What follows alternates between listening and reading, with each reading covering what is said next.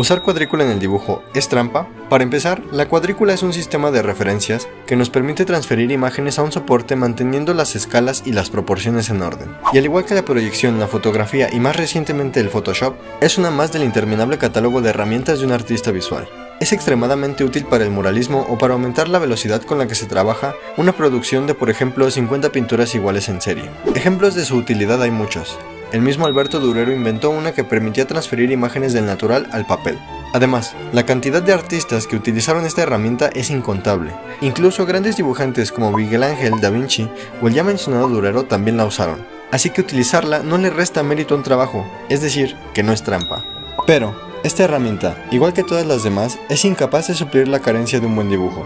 Recuerda siempre que entre más buena es una herramienta, mejor se vuelve en evidenciar la falta de conocimientos y de práctica del que las usa. Gracias por estar aquí.